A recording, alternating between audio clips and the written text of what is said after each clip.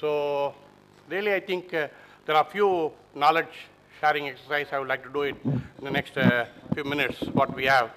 And uh, we'll see that these are very important initiatives and good practices to be adopted for any e-governance project to be implemented, whether it's planned or is already existing, we have to review it, we have to introduce it. So I think I'll just start with the principle of good governance because this is what the idea was based on which e-governance projects or missions have been created. One is leadership, selflessness, integrity, objectivity, accountability, openness, and honesty. This is, I think, the kind of attributes we should have for good governance. Then we like to see on the other side, humane. That means we have to be personal touch for every citizen of India, citizen-centric services. Uh, maybe on-demand, demand-based governance also we should be in a position to do it in a short possible time. Should be creative, use knowledge for national wealth and health creation, understand the economics of knowledge, and high morality we should have. I think this is the whole idea of attributes and properties of the kind of good governance what we like to adopt it. So I think we just want to start with four mantras of good digital governance from vision, mission, implementation, impact study, improvisation, leadership, and alignment. We should have the kind of continuity. I think what is missing today is most of the things because of the kind of human resources are not continuous, except for the staff at the below level. So we have to see the kind of continuities established for any e-governance project to take off. Second is projects, e-governance projects. We have to formulate, we have to architect, we have to design, we have to construct, we have to comprehensive multi-tier reviews and monitoring and feedback control system to be built in. I think we have a lot of stages here. I am not making a project as a project management exercise, but a project as a project governance exercise. I think this is what I think we like to advocate as a good practice there. The third point was collaborate, communicate, cooperate, co-work, and coexist. I think this is what the kind of things we need, the kind of uh, uh, attributes or humanities or interfaces we should have in terms of having the multi-stakeholders interest be kept in view. Logical process integration, I think we look for ERP, but ERP is not enough. We need business intelligence to come into the line. There is another layer to be added. So what we need is a kind of thing is accountable, transparent, and open government we should do. That's what the idea of e-governance scheme is.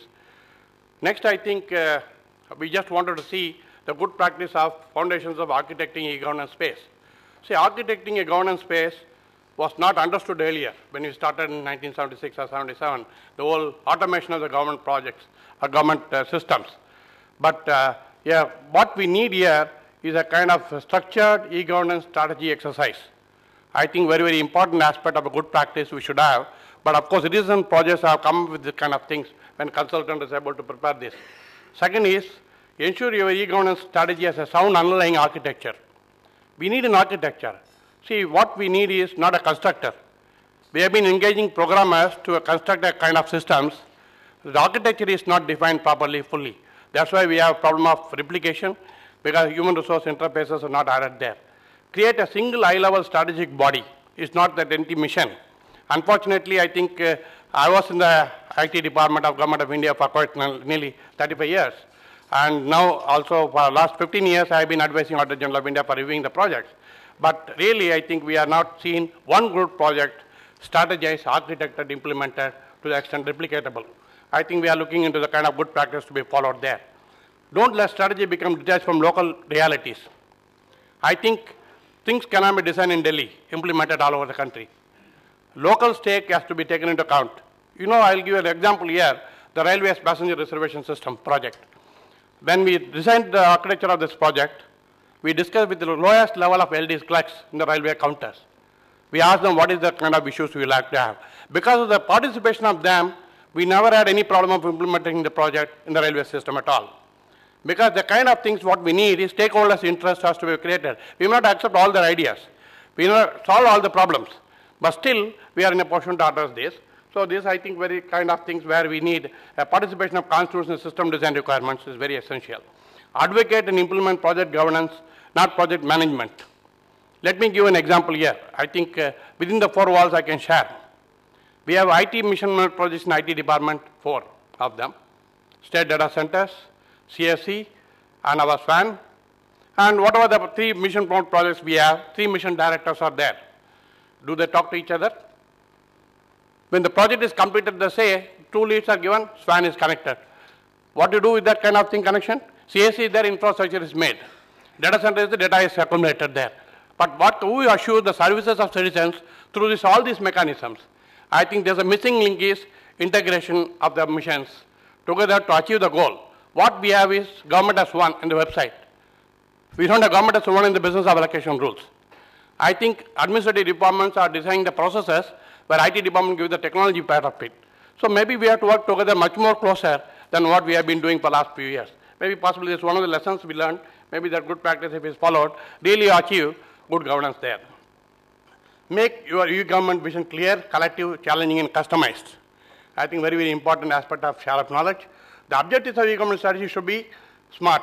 Okay, of course, smart governance, everybody knows about the definitions. So it is for the people, by the people, of the people. This is what political people say, mandates say. But really, the government has to work when automation is going to help.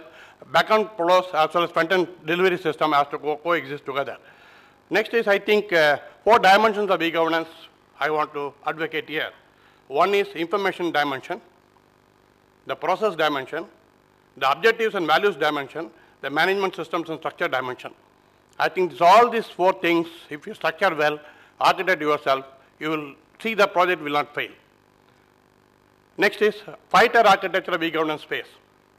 Data architecture, process architecture, technology architecture, data management architecture, management architecture. I think to create a building, you need a sound underlying architecture for the building based on architect's plan. The same is true for e-government. I think we have to see the kind of structurally the architectures are made, layers are built in, layers are designed, constructed, implemented, reviewed, and this will give the kind of good things of architecting the e-governance space. Next is technology selection. I think I was talking to DMRC chairman earlier, should not be leading edge, should not be building as it vendor driven. I think what we need is appropriate, acceptable, sustainable, implementable, maintainable technology for India to be selected. I think very, very important aspect of the technology selection process. Should not be outdated. Should not be current, so current, it should not be outdated. Based on connectivity levels and technological standards available right now, work with and connect directly to all end users rather than intermediaries. I think prototype or pilot your project. Stakeholder involvement is a must for every level of interaction, what we are going to design, an architect. This is the space. Next, I think uh, the overall, what we need to advocate here is overall vision strategy for e-government, which is already there now, National E-Governance Plan. Project management for e-governance. I think it's a project is very, very important aspect of project management exercise coming up because we have bad experience of implementing projects in time, on time, every time. I think we need the kind of things, lessons learned, where we fail. I think I have two more slides to share, share this. Change management for e-government. Uh, politics and self-interest in e-government, whether to have it or not to have it, that's a question of debatable point there. The design of e-government applications, the competency, skills for e-government, technological infrastructure for e-government, external and internal drive for e-government. E-government projects need managers, but also need leaders as well, because only leaders can take the kind of costs for the kind of drives, decisions they can make. So next is, I think, strengthening integration of multi-stakeholders. What we need is operational integration, professional integration, emotional cultural integration. I think the project, like if passport e-Seva project or passport Seva project, it works very well in Chennai, but does not work in Bihar. Why? Because people are different. The culture is different. The ethical practices are different. So really, I think we are liking the kind of things, emotional cultural integration is not made to the project design itself. The project will never succeed. It may succeed in uh, islands. Next, the ICT in government business and services integration. I think very, very important aspect. It is not a service delivery of ISO 20000 standard we can make, but really what services we want to give, who will assure the services happen as designed, is a question of implementing strategies and implementation of things. Multi-technology coexistence. I think technology is coming to various part of life. But is the technology coexistence converge? Convergence of technology happen. People don't have it. So I think we have to really have seamless integration is happen and information assurance. See, data center does not assure information is correct, timely.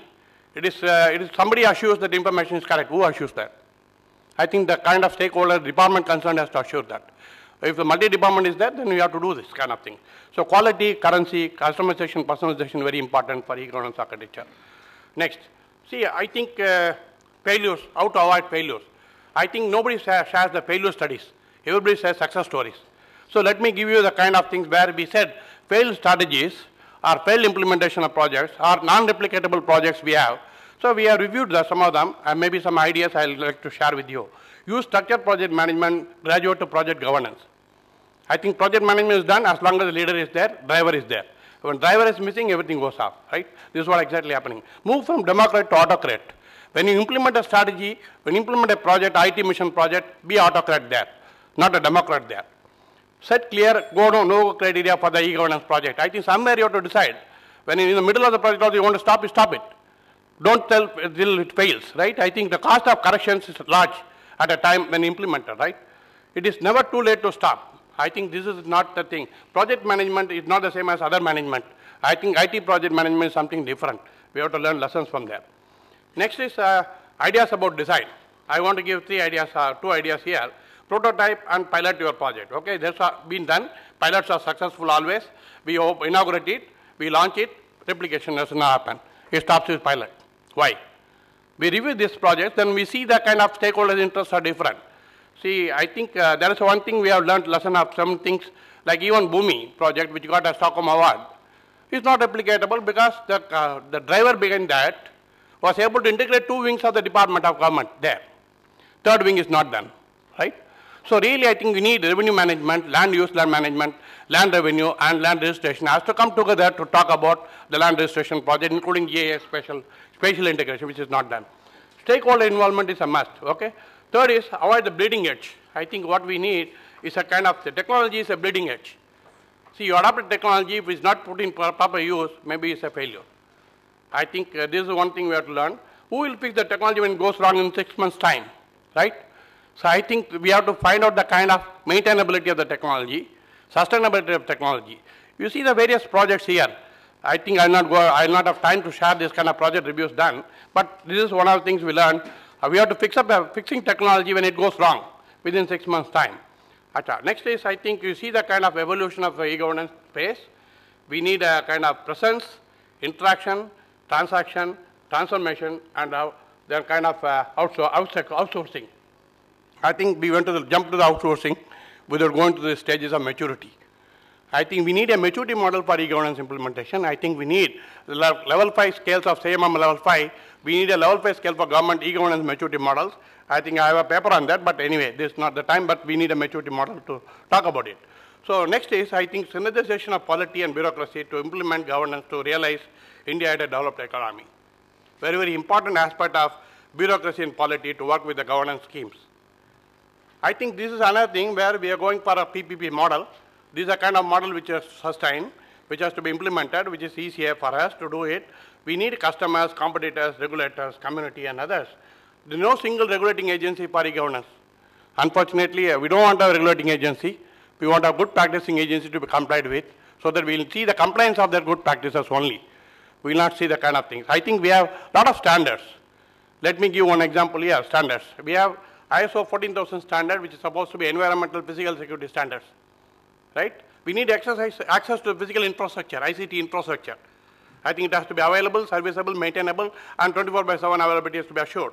Next is 9000 certification of ISO 9000 is quality management standard. We have 9000 model. So many people have got ISO 9000 certificate for this. We have a COSO standard for risk management standard. I think we have to look into the kind of risk management strategies and mitigation of risk. We have a COBIT standard which is called audit management practices. I think we have to include that. The systems to be auditable, verifiable, acceptable, right? Then we have a kind of ISO 27000 standard which is called security management standards. We have ISO 20000 standards, which is called security service delivery standards. I think we are going to achieve Six Sigma, failure in one in, one in a million. I think we are trying to see that each standard addresses a different space in the enterprise space. We have to integrate these standards. In BI standards, when I was the chairman of the committees, we are trying to work out group standards for every specific sectors. For e-governance also to work with multi-stakeholder interest standards there. So this model is called assurance model in a PPP environment, we have, it's implementable model. We have to see how to implement it in the whole e-governance exercise, what we have undertaken or what we are doing now. I think let us stop here. And then thank you very much for giving me a chance to share our knowledge. And thank you very much.